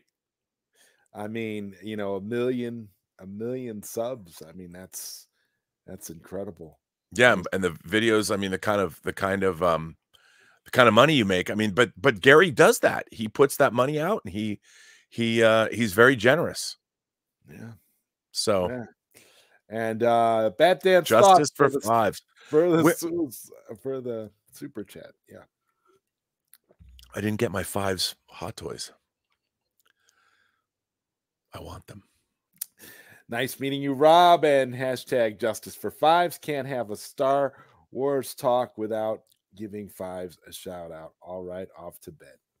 Right. Well, it's good to meet you, and thanks for the kind words about the film. I, I I swear I'm I am like I have been spreading the free enterprise gospel for for as long as I can remember and like I anytime again anytime I get a chance to watch it with anybody anybody new I get excited because I always get I always get something new from the film just based on that. It's funny because I, you know, I haven't, um, I haven't, um, I, I just don't, you know, it's, you make a movie, you don't watch it ever again. You know, you watch it with people, Yeah, well, I mean, I well that would be that would be a dream uh, for me to watch Free Enterprise with you at a movie theater. I would that that'd be a dream. I would love to get it into a movie theater. I I, um, I I would be. It's just it would be incredible. just the idea. Yeah. I mean, and Sharon Peters wants an orgy on wheels. So Uh, yes, and we can play a lot of Lords of Acid, things like that. I miss the Lords of Acid. Everybody wants to uh, join Sharon. Sharon is bringing the party. well, at least Sharon wants to get laid. That's or have you know that's good. Sharon nowadays- wants to have fun. Hey, that's you know what? That's that's all good. I grew up with that. That's how I learned. Yeah, you got to learn how to. That's how I learned- the- you got to learn how how, I- to navigate the jungle before you Yeah, uh, become a gotta- connoisseur. that's right. You got to wield that tongue machete. That's Got to right. figure out how to get get your way through the underbrush, get to where you're going, clear it a, clear it away with that uh, tip of your tongue, so you can do the right work in the right place. You see, Sharon is thinking along the right lines. She Uh, is. She'll fit right in. I haven't even. I've just been drinking water too. I haven't even. You know. wow. I know. Yeah, yeah. Well, that's that's you know, you know, bring it, bring in the part, bring in the party. That's Yeah. that's what's happening right now. I mean, I, I, I definitely like like your idea of of you know traveling around like that. That'd be really cool. I've always wanted to do that. You know, I, I I I always thought that I just, you know, if I put more time, I mean, my channel's been growing a little bit, but I've I should have done. I've just been scattered, you know, between doing whether it's Tango Shalom now and doing White Devils and the audio drama, and I don't. I, I'm I've never been. um um Oh, I'm being I, I'm being yelled at about feeding the dogs. Um, um. I, welcome to the jungle. Do a little do a little Axl Rose dance um uh well, I don't even remember what I was saying, but oh, I, I, if I if I had spent as much time as everybody else does on their YouTube channels, I could have probably made it bigger. But you know, I'm I'm also kind of I'm an old man too, so well, I, I, I'm just, I was just gonna ask you. Well, since you, since you're getting yelled at about the dogs, do you got to go? Do you? do you need to Yeah. Wrap this up. yeah, I um Okay. Uh, well, I, I do I, I apologize. No, that's We have a we have a nursing puppy here who's going crazy. Okay, well, I uh, well, as you know, of course, we'll do this again. You and I collaborate all the time. It's not it's not like we won't. Uh, but I guess we'll give the last word here to Sharon Peters. Uh, feed the dogs, Rob, and then feed my kitty. So Actually, wouldn't shouldn't the reverse be true? Shouldn't I am the one that dines on your kitty? Is that how it works? I don't know. wow. Okay. well, on that note, I want to thank you, Rob, for being here for episode 96 of Late Night Q&A with Zodwriter. It's always a pleasure to hang out with you and to talk about all these wonderful things. And always a pleasure for Sharon Peters to pop up in the chat with all of her uh, all of her spirited comments and amazing, uh, amazing non non 2024 ways of thinking. Yeah, that's good. We need to get back to this. Yeah, definitely. you know, I mean, it's it's it's it. Uh, you know, we get it. We have to get. We have to bring back the fun. Yeah, bring yeah, back absolutely. the fun. That's going to be, you know, bring the fun back to the the youth of America. I mean, you hear about everybody's on antidepressants and suffering from anxiety and all this craziness. Um, yeah, we got to bring back the fun, bring the party back, get rid of the uh, the malevolence, get rid of the anxiety. Let's just have some fun, man. Let's get together, have some fellowship, have a few drinks. Sharon says, "Bring back the bush." I told my wife that actually. okay. and uh, Darth Plato says this is the best show ever. uh, well, you know, I'm sure we'll do more. Um, Demonetized. this is just this is just the beginning. But uh on that note, thank you, chat. Thank you everybody for being here. Much appreciated. Thank you again, Rob. And uh, I'll be back tomorrow where I interview actress Nessa Noel. So be here tomorrow for another episode of Late Night Q&A. Good night, everybody. Thanks for being here.